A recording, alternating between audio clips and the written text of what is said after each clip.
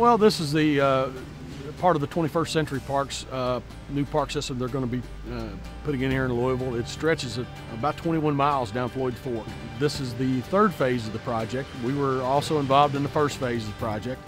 Uh, they were looking for some ideas and some solutions. We were able to provide that for them. It, it seemed to match the, um, the look of what we wanted. Um, Olmsted Parks here in Louisville were looked at. Um, there were some existing walls in those parks that we were looking for a similar kind of scale of product and look.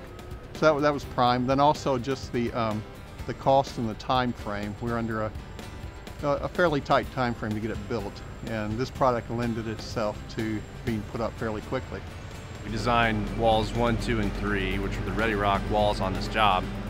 Uh, total square footage of face was just under 21,000 square feet. Um, had some kind of unique design challenges involved uh, with this project.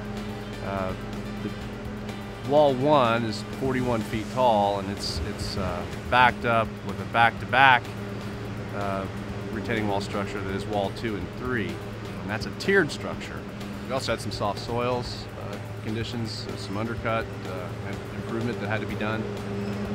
We also had to accommodate some large pipe penetrations through the wall did that with reinforced concrete cast in place head walls and then uh, the incorporation of slip joints too at the boundaries of the head wall uh, through the top of the uh, Redi-Rock wall face.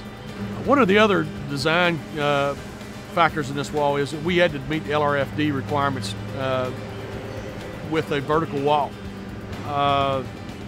You know that's it's it's a little different. You know, it's especially with the vertical wall, and you know the PC system enabled us to do that.